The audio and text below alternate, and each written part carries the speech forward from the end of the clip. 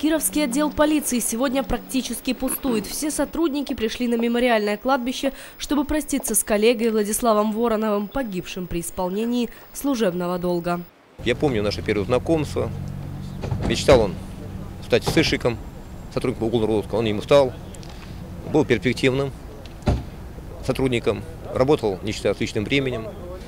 В отличие от своих сверстников своего возраста, он отличался, на мой взгляд, решительностью и смелостью. С 2012 года Владислав Воронов работал в отделе полиции Кировский. Профессией своей гордился, пошел по стопам отца.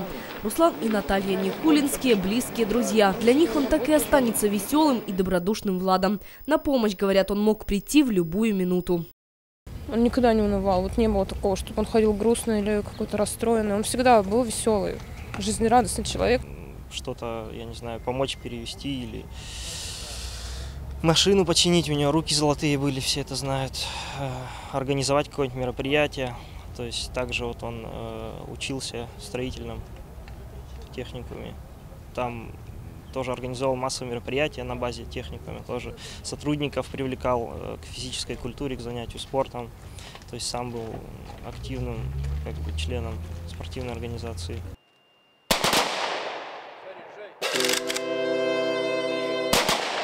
В социальных сетях на странице Владислава Воронова уже несколько дней знакомые и совершенно незнакомые люди оставляют слова скорби.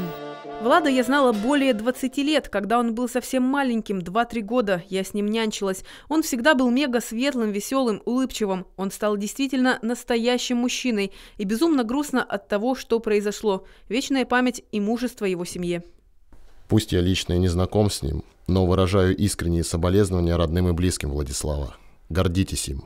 Дружище, вечная память. Спасибо тебе за то, что ты был и есть в моей жизни. Никогда тебя не забуду.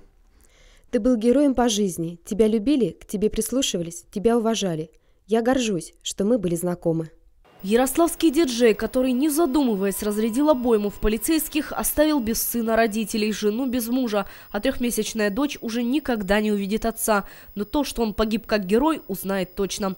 Владислав Воронов, старший лейтенант полиции, сыщик. Ценой своей жизни он сохранил наш с вами покой. Ольга Преснухина, Денис Лосев. День в событиях.